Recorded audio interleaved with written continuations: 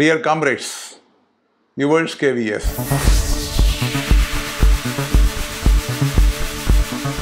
One official wants to change the date of birth in his service. He is showing his matriculation certificate or the school leaving certificate or the birth certificate and demanded that should be accepted as a proof of caste and his date of birth has to be modified. What is the provision? As per DOPT OM dated 9 9 2005, no caste or tribe certificate issued by the judicial or revenue authorities that will alone be accepted as a proof at the time of the initial appointment.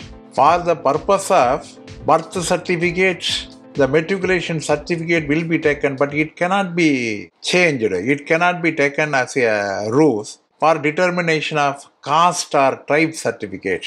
The caste or tribe certificate that can be issued only by the judicial or revenue authorities at that too at the time of initial appointment. This is as per 9 9 2005 orders.